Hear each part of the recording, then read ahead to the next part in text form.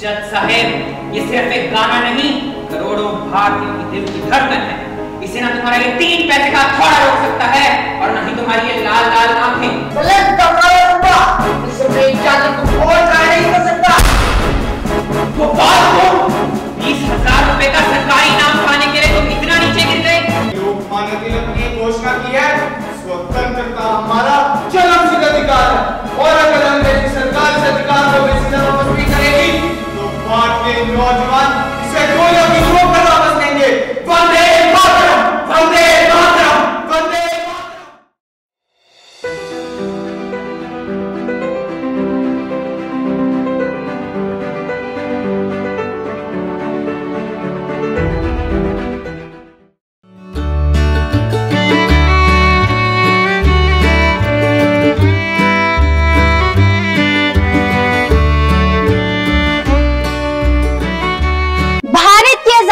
यज्ञ में न जाने कितने वीरों ने अपनी ज़िंदगी की आहुति दी।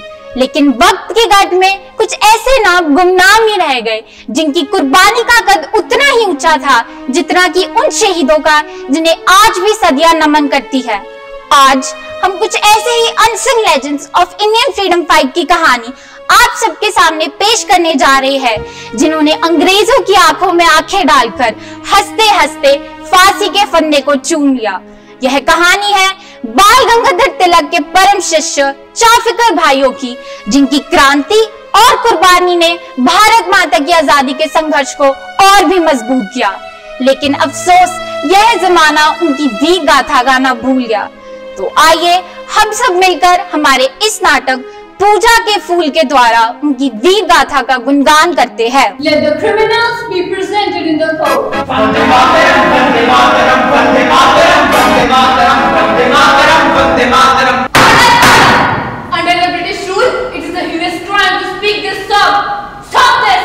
जज साहेब ये सिर्फ़ एक गाना नहीं करोड़ों भारतीयों की दिल की धड़कन है इसे ना तुम्हारा ये तीन पैसे का थोड़ा रोक सकता है और ना ही तुम्हारी ये लाल लाल आँखें हाँ, शुरू करो अपने न्याय का नाटक जिसे देखने के लिए पूना की सारी जनता इस कोर्ट में उपस्थित है।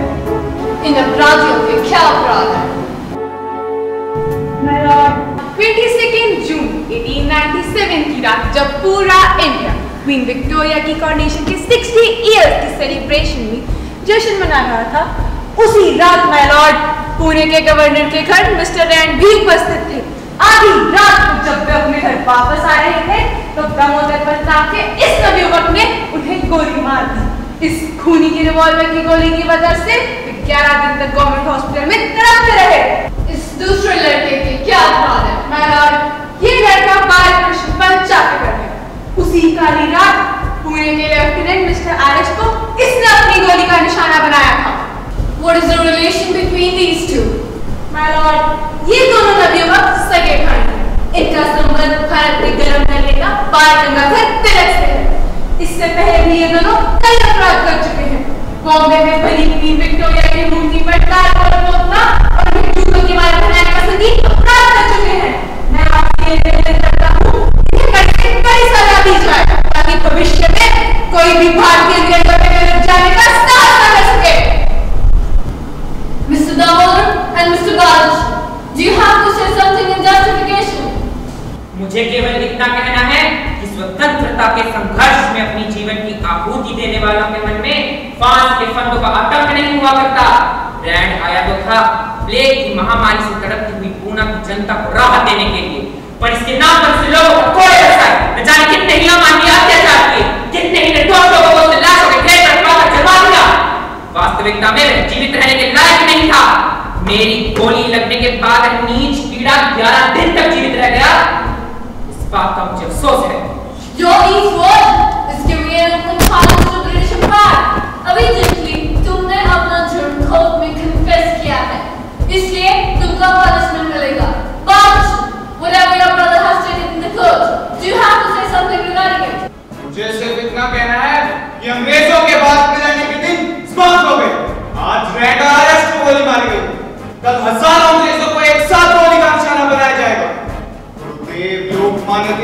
घोषणा की है। स्वतंत्रता हमारा जन्म खराब हो गई सीधा वापस भी तो भारतीय नौजवान इसे गोलियों की नोक पर वापस लेंगे Vande Mataram Vande Mataram Vande Mataram To use such offensive language in court is a serious crime. You will also get punished for this. Milord, शांतिकर बंधु बालकृष्ण मैं आपदा बोधक पद का वकील मैं मुझे अपनी बात को रखने का अवसर दिया जाए Permission granted.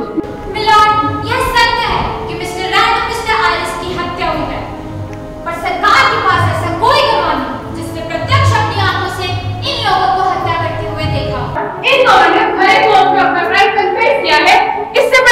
क्या हो सकता है?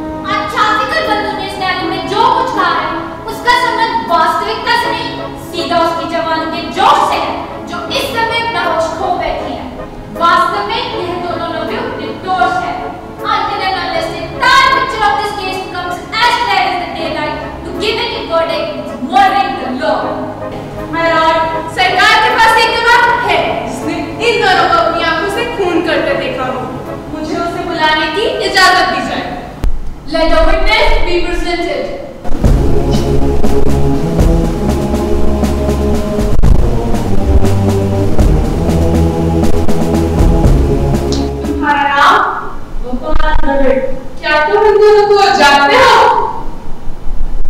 बहुत अच्छी गोपाल तुम बीस हज़ार रुपए का सरकारी इनाम पाने के लिए तुम इतना नीचे गिर गए। अब समझ में आया तुम पकड़े क्यों गए? दोस्ती के नाम पर तुम कलंक हो गोपाल कलंक हो। भारतीय इतिहास के स्वर्णिम पृष्ठों पर विश्वासघात का एक और बड़ा पृष्ठ। क्रांतिकारी इतिहास की सफ़ेद चादर पर कलंक का एक काला धब्बा इस को कोई ट्राई नहीं कर सकता।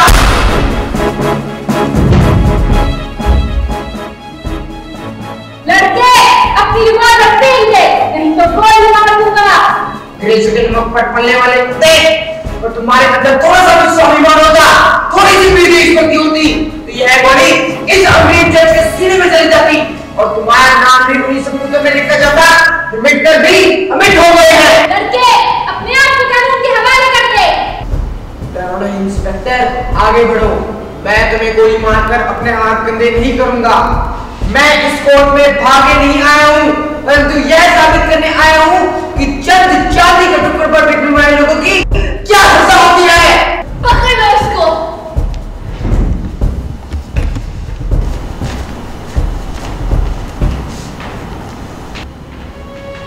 वासुदेव हम तो माँ को छोड़कर जा ही रहे थे। बूढ़ी माँ को बेसहारा छोड़कर तुम भी यहाँ आ गए। माँ ने मुझे स्वयं हाथ में रिवॉल्वर पकड़ाते हुए आँखों में आँसू भरकर सब कुछ स्पष्ट किया। भारत माता के चरणों में चढ़ने के लिए मैंने दो फूल पहले ही भेज दिए आज तुम्हें भी उसी मार्ग पर भेज रही भारत माता के चरणों में ताजे खिले फूल ही चढ़ा करते हैं बेटे। माँ का आदेश था, कर्तव्य की पुकार थी। मैं यहाँ आ गया। संतोष है मुझे कि इस गद्दार की लाश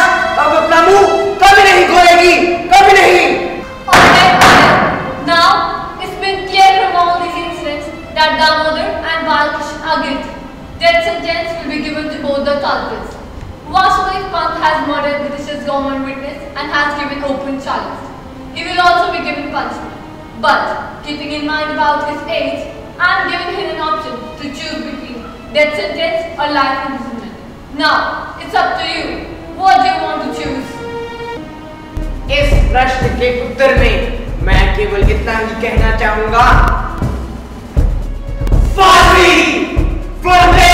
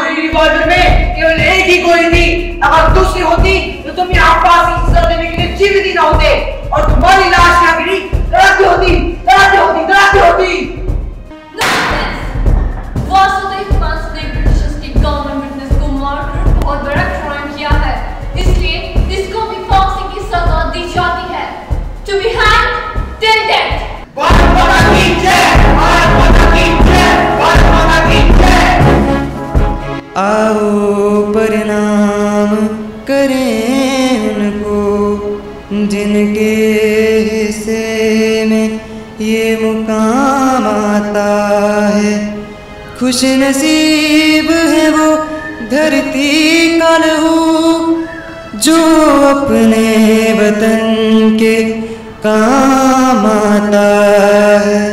जो अपने वतन के काम